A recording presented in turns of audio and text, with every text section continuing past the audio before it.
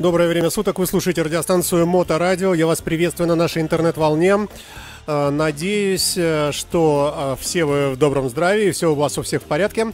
А мы с вами сегодня поговорим с великолепным, замечательным и несравненным Анатолием Графом Дежевским, который сидит напротив меня. Как всегда, модный, красивый. И весь в белом. Да, и чисто выбритый, надо говорить? Конечно. Да. Приветствуем. Привет. Как сезон? Ой, сезон прекрасно. Никакие ковиды, я так понимаю, тебя, в общем, особо не расстроили. А, ты их сильнее. Да, я быстрее. Ну, а, давай начнем с главного. А, ты побывал в Москве да. на любопытнейших выставках. Прошу. Да. А, на самом деле, внезапно вдруг решили э, на прошлых выходных э, сменить э, атмосферу, обстановку и город. И прыгнули в автомобиль и протестировали платную трассу М11. Примчались в Москву, поселились в самом центре и пошли на выставку Орел Экспо.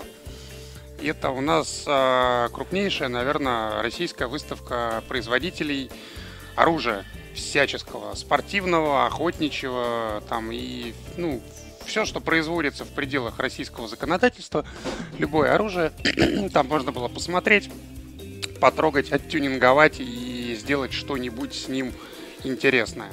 А поскольку очень многие мотоциклисты, помимо того, что они мотоциклисты, они еще любители всяких вот таких э, штук, э, которые прям мужские-мужские. Вот. Ну, оружие, по крайней мере, любят все мальчики, вне зависимости от возраста, начиная там с пластмассовых пистолетов в детстве, потом, может быть, страйкбол, а потом уже переход на... Ну, многие охотой увлекаются, да, да в том числе кто-то для самообороны, а кто-то вообще для криминальных всяких штук. Но это, ну, это, это, не это, это не к нам, это, не это нам. на другое радио. Да. да. И э, слушай, был ли какой-нибудь супер бестселлер? Как вы знаешь, мотовыставка, и, например, на нем будет презентован новый Дукати. И все смотрят выставку, да, но движется все-таки вот к основному. Слушай, ну вот как, как прям такой бестселлер, бестселлер, наверное, нет, потому что вся эта оружейная индустрия, она делится на несколько больших категорий. То есть это реально спортивная а, стрельба э, из пистолетов, спортивная стрельба из карабинов, а, тактическая стрельба. То есть, это что такое? Тактическая это когда либо на природе, на естественной местности а, участник проходит полосу препятствий, на которой нужно поразить различные мишени. То есть, от которой неожиданно появляются, да? Да, вот в этом да, тактика, да? Да, да, да. Вот, также есть э, так называемые интерьерные тактические решения, когда очень много всяких перегородок, тебе нужно зайти в помещение, там террористов э, уничтожить, мирных жителей оставить. Спасти. Спасти, да, да угу. это все так. Ну, естественно, это все через манекены и так далее. Но такая интересная история, позволяет э, размяться. Вот, э, то есть, ну, первый шаг к этому это, наверное, страйкбол. Очень многие этим увлекаются пластмассовыми шариками, когда пластмасса уже, в общем... А пробовал ты? Страйк... Да я все пробовал. И пейнтбол, и страйкбол. Это, конечно, ну, интересная такая штука, побегать там, по, по, попрыгать. Вот. Но все-таки ты понимаешь, что по большому счету это игрушечное оружие, и оно даже по весу, по каким-то своим параметрам, оно не может быть а, отнесено. Не к... может быть приравнено вот да, к, да, к этому да. прекрасному да. Кал Калашникову или там чего-нибудь такого. Ну просто сам по себе, вот, ну для меня это тоже такая история достаточно новая. Угу. Ну вот, и когда я первый раз попал в стрелковый клуб, э, там так, так называемый галереи. То есть это пространство, где есть много различных мишеней, и ты стреляешь по различным мишеням, там через разли- различные оптические увеличители, там приклады, в смысле эти... Э, прицелы. Прицелы, коллиматоры там и так далее. Вот. И сам вот этот процесс, когда ты как бы, стреляешь, когда у тебя отдача идет в тебя, и ты попадаешь, ты это видишь, что ты попадаешь, прям, ну, кайф, реально. Угу. Кайф такой прям, я даже не знаю, с чем это сравнить можно. Ну, но... я можно добавлю, да, что э, радиостанция Моторадио может иметь отличное мнение от мнения гостя, потому что который прямо какой-то каннибализм тут показывает нам, ну, что тебе по, по доставляет... Э, да. да. Сегодня слушаешь ты джаз, а завтра родину продашь. Да, да, так да, что, да. ладно, хорошо. А что-нибудь, какие-то тенденции, э, что-то такое в этой технике любопытное?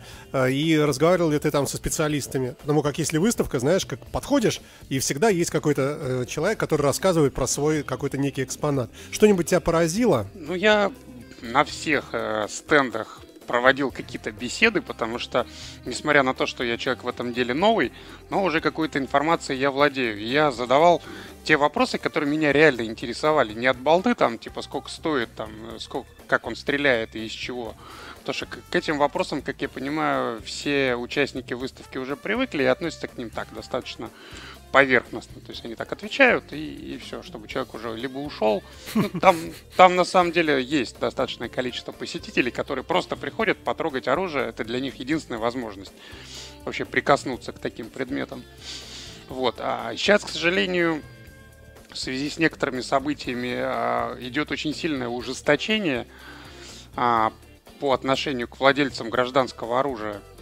Вот. И э, при этом очень много споров, различных э, мнений э, а, по поводу того, как, в принципе, э, простому российскому гражданину относиться к оружию, как регламентировать оружие, травматическое, там, спортивное, охотничье, разрешать, с какого возраста. Это сейчас прям самая обсуждаемая тема среди а, всех А у тебя владельцев... есть какое-то сложившееся мнение? Вот у есть, меня есть. Есть такой тезис, э, что если разрешить э, продажу оружия, э, ну, естественно, с оговорками, с поправками на то, что ты там должен принести реальные справки, что ты не псих, там нормальный человек, угу. для собственной самозащиты. И э, считается некоторыми, что это приведет к всплеску преступности, якобы, а другие люди говорят наоборот, что так как бандиты всегда и так вооружены, без всяких этих справок, а ты как раз вот нет, то как раз наоборот, вот этот криминал весь, он начнет опасаться, и типа наоборот будет как-то поменьше. Но ответа нет, мы не, не пробовали пока. Мы можем ссылаться на опыт там, Соединенных Штатов, э, на опыт России до революции, когда рабочий с Путиловского завода мог легко пойти купить, ну если денег хватало, там револьвер себе, например, это не возбранялось. То с большевиками все у нас у всех все отняли, и теперь вот этот тезис, он так обсуждается. Э, и э, вот то или иное мнение э, у разных людей, а, оно разное. А у тебя? У меня мнение следующее, что гражданское оружие у законопослушного гражданина должно быть обязательно, потому что криминальный элемент э, там в любом случае найдет то, что ему требуется для совершения противоправных действий это будет, естественно, неофициальное оружие, потому что он же, ну... Он криминальный. Да, он элемент, криминальный. Да. Не, он, конечно, бывают конченые дебилы, которые покупают официальное оружие, идут с это, и этим же оружием совершать какие-то криминальные действия. Но угу. это, это уже к психиатру. Вот. Если человек э, осознанно идет совершать какие-то криминальные действия, он же не будет э, регистрироваться при этом официально. Он где-то там купит, что-то сделает, там выкопает, не знаю, сам угу. сварганит. Вот. Но к сожалению, сейчас э, в, ну, в Питере, в Москве, в таких очень крупных городах огромное количество жителей и местных, и приезжих. И криминальный элемент здесь ну, достаточно хорошо цветет. Вот. И криминальный элемент на данный момент знает, что общая масса населения, она не вооружена. Поэтому совершать э, против них противоправные действия можно Легко спокойно. и приятно, да, да ничего особенно, не будет. Да. Особенно группы лиц и так далее, и так далее. Так вот, э, ну, наши законодатели начинают э, зажимать, естественно, обычное население различными поправками, но, как это ни странно, э, чины МВД предложили инициативу, наоборот, разрешить э, гражданскому населению приобретение короткоствольного боевого оружия. То есть не травматы вот эти резиновые, которые, в принципе, никакого особого действия не оказывают, а нормальные боевые пистолеты. Ну вот, потому что если криминальный элемент будет знать, что вокруг много гражданского населения, которое обучено, которое умеет пользоваться и которое вооружено, то желание совершать противоправные действия крайне быстро улетучивается. Поэтому я считаю, что нужно вносить культуру оружейную, обучать население, чтобы гражданин уже сам непосредственно понял, надо ему это, не надо. Может, кому-то просто не надо. Кто-то убежит, позовет полицию, и для него это достаточно. Кто-то хочет отстаивать свою гражданскую позицию, доставать оружие и противодействовать. Э, большой специалист в области стрелкового оружия, философ э, предназначения вооружений в целом. Ну, как бы еще тебя назвать? Один из столпов петербургского мотоциклизма. Анатолий Граф-Дежевский в студии у нас. Чему мы рады. Ну, тем не менее, что любопытного, интересного? Что-то было такое? Любопытного, интересного на этой выставке то, что а, любое оружие, которое продается официально в а, Российской Федерации, можно кастомизировать. Вот это для меня было прям открытие. В смысле, официально его можно? Официально, да-да-да. То есть я всегда думал, что ты купил там пистолет. И должен в МВД купил... отчитываться. Вот Нет. он у меня, видите? Я Нет, ничего это... не удлинял, ничего не, ну, не спиливал. Там, там есть нюансы, просто в основном а, кастомизация оружия это все-таки в большей степени визуализации. Угу. То есть это какие-то внешние э, детали, которые видоизменяют вид оружия, которые позволяют более удобно там держаться за него, то есть там рукоятка, там цевье, еще что-то. То есть предметы, которые предназначены для более комфортного м- процесса. Вот. Ну и, как говорят наши друзья, это, во-первых, это красиво. То есть, кому ты его покажешь? Люб... Тоже? Не, ну на самом деле, во-первых, э, поездки в стрелковые клубы, в тиры, естественно, там ты же не один едешь, ты едешь с друзьями, и между друзьями ты можешь показывать, что... То есть вот этот кейс такой, да? Да, да. Чехол какой-нибудь там. да. Все там... замшевое, все в золоте. Ну, естественно, конечно. А как же. Пистолет обязательно должен быть золотой и с бриллиантами. Слушай, вот золотой пистолет, э, ну, это же, ну, как-то такое нелогичное содержание, э, э, ну, по, по смыслу словосочетания. Золото – мягкий металл, золотое, наверное, относительно естественно, все-таки внутри там... Ну, надо... естественно, те, те непосредственные детали, которые э, используются для выстрела пули и полета пули э, в мишень, они делаются из металла, они делаются из тех материалов, для которых э, предназначены. Вот. Но хотя последнее время я заметил, что огромное количество оружия, которое представлено у нас, делается облегченно. То есть это либо сплавы, Э, пластики какие-то очень активно используются.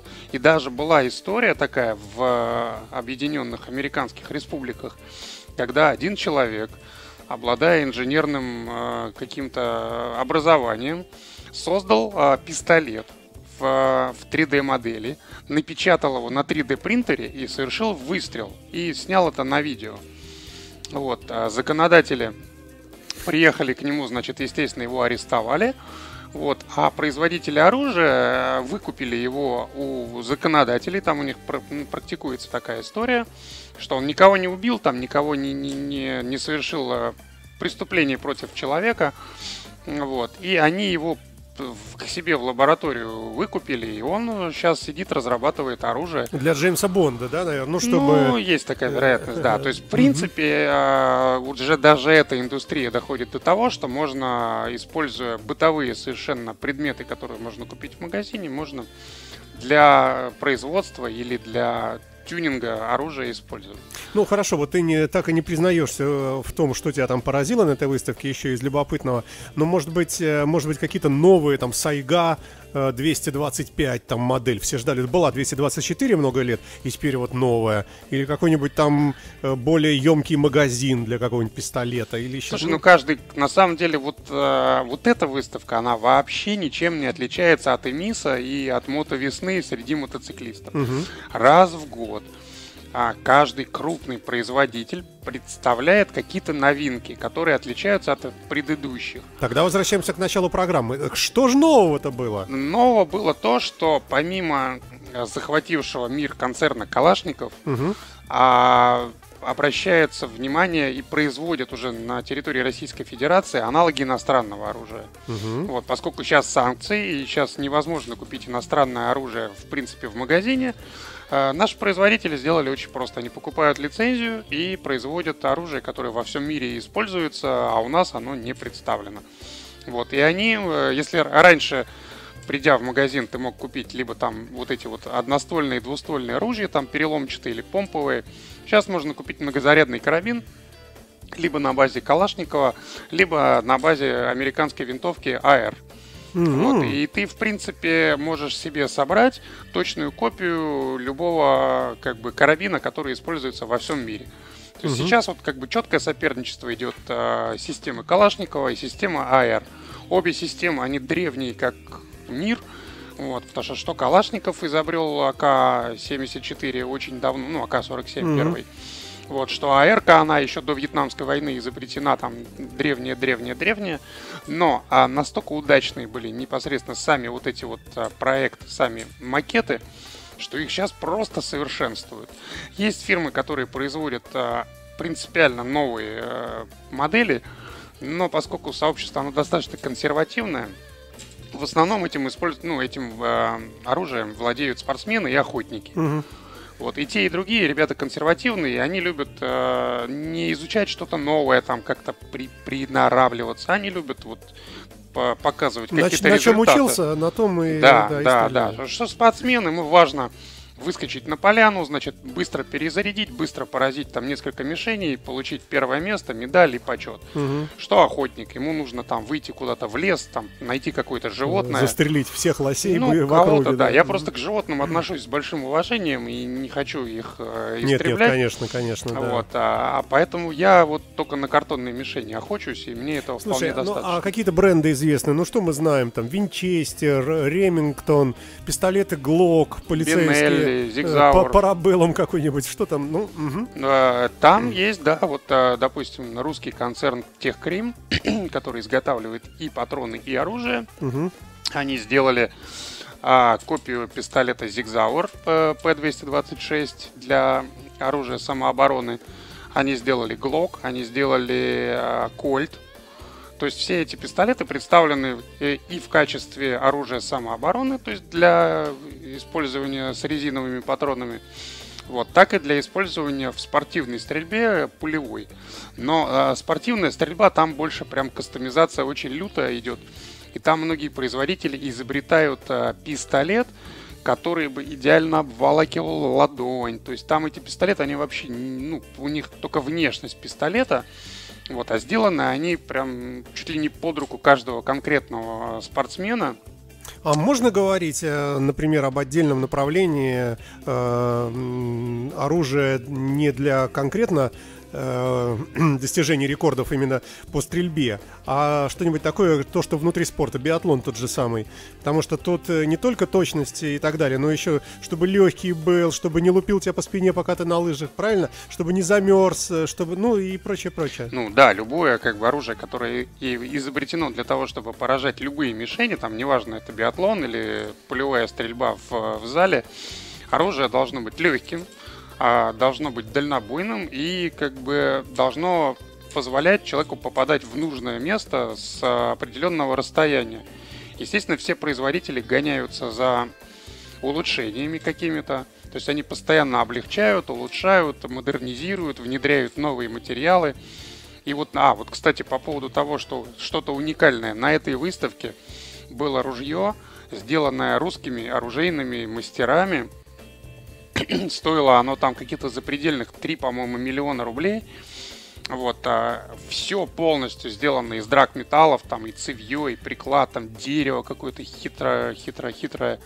И ствол был карбоновый, то есть карбоновый ствол, изнутри там какое-то хромовое покрытие, то есть, ну, э, во-первых, это там произведение искусства было. Вот, ну и производители, они все-таки нацелены на коллекционеров, в том числе, которые хотят, чтобы их оружие было не только надежное, качественное и стреляло в нужное место, но оно еще было очень красивое. Поэтому там и прям индивидуально хорошо. это вообще. Индивидуально, да. Да. Чем индивидуальнее, тем дороже потом э, будет э, продаваться. Были, были там организации, да, которые персонализировали все оружие. То есть можно было там какие-то вязь сделать, там свое имя написать. Э, возвращаясь к выставке, на которой ты побывал, э, а что за люди приходят туда? Э, много ли маньяков ты видишь, или каких-то вот сладострастных людей, которые поглаживают там, вот этот приклад, какое-нибудь оружие, и ты понимаешь, не, лучше обойду его. Что там за люди вообще? На самом деле, вот по моему личному персональному мнению, на выставке максимальная концентрация абсолютно вменяемых, адекватных людей, которые занимаются своим любимым делом. То есть одни занимаются продажей, э, ну, производством и кастомизацией, другие занимаются либо спортом, либо охотой. Либо коллекционируют это все, да. Либо коллекционируют, да. Но там прям все настолько круто, интеллигентно, спокойно. Естественно, там есть некий контингент, который приходит и с высунутым языком они бродят по этим стендам. Вот, потому что, ну, это реально единственный для них э, легальный способ потрогать э, какое-то оружие в принципе. Но, а, во-первых, все оружие, которое там представлено, оно, естественно, не заряжено, поэтому трогать его можно сколько угодно, перезаряжать, там, дергать эти затворы, щелкать э, курками. Это можно все делать там, в неограниченном количестве, с учетом того, что оно достаточно надежное, с ним ничего не произойдет. Вот, а, но общий контингент, конечно, очень классный. Я там познакомился с огромным количеством очень интересных людей. А я сейчас отсматриваю различные YouTube-каналы именно блогеров-оружейников, которые э, вообще в принципе занимаются этим. Я понял, что максимальная концентрация вот э, вменяемости именно у людей, владеющих официально владеющих гражданским оружием, потому что они прекрасно понимают свою долю ответственности вообще за все. То есть вот они обладают э, предметом, который, э, в общем, предназначен изначально издревле для того, чтобы убивать. Там, неважно, там... Да, перефразируем, защищаться. Ну, автоматическое оружие, оно вообще, в принципе, изначально изобретено для того, чтобы вражеская армия а, несла большое количество раненых. Угу. Потому что убитые это убитые. Его как бы закопал и пошла армия дальше. Вот. А раненые – это люди, которых нужно лечить, э, таскать за собой. Это очень сильно армию сковывает. Поэтому вот э, первый этот пулемет Гатлинга великий, который при помощи рукоятки… Да-да-да, такой. да, совершал а, по эти самые автоматический огонь, он как раз был изобретен для того, чтобы индейцев останавливать, потому что они же ребята вообще бесстрашные. Вот. И когда а, а, помимо того, что они бесстрашные, они очень любят свои семьи и своих э, соратников. Поэтому, когда большое количество раненых, они останавливали все атаки. Ну, как атаки, они как раз защищались. Но они... Да, тут такой по тонкому льду мы тут да, ходим, да, да, да. Ну, не Суть, не, не суть важно. Да. В общем, человек, который знает, что у него в руках предмет, который может э, нанести какие-то увечья, он очень тщательно относится к нему, тщательно относится к его хранению, занимается спортом, занимается охотой и относится к этому всему очень ответственно. Поэтому вот именно контингент там очень классный, очень крутой. Охрана и... была на входе, на выходе? Ну, естественно, там... да. Естественно, там Но были... какая-то более серьезная, чем на обычных каких-то Там прочих. была вменяемая охрана, угу. которая прекрасно знает, что если человек приходит на оружейную выставку, угу. у него может быть с собой персональное оружие, угу. а, на которое у него есть разрешение. Угу. Вот. И, ну, как я понимаю, там ребята были физиономисты, вот, потому что они с кем-то, они просто перекидывались там парой фраз, кого-то они попросили там приоткрыть какую-то сумочку, там показать еще что-то, но вот пока мы там были, в течение практически всего дня никаких там эксцессов, конфликтов, ничего не было, то есть, в принципе, все очень хорошо отлажено, очень хорошо все сделано, то есть на высшем уровне сделана выставка. Mm-hmm. Вот, но это, грубо говоря, единственное мероприятие всероссийского масштаба, куда съезжаются и производители, и потребители. Вот. А самое важное для, вот, как бы для тех, кто хочет к этому приобщиться сейчас, в связи с новыми поправками к оружию, если вы хотите заняться спортом, если вы хотите заняться охотой, то сделать это нужно прямо вот сейчас, потому что по новому закону обладать длинноствольным оружием может человек с 21 года, а первые два года он может обладать только однозарядным или двухзарядным оружием, то есть это одностволка или двухстволка. А все вот эти вот полуавтоматические карабины и помповые ружья это уже через 5 лет и по, чуть ли не по нарезной лицензии. Uh-huh, uh-huh. Поэтому если есть желание заняться э, именно спортивной стрельбой или стрельбой там э, развлекательной, такая тоже, кстати, есть, э, то лучше это сделать сейчас, потому что потом это будет либо сложно, либо вообще невозможно.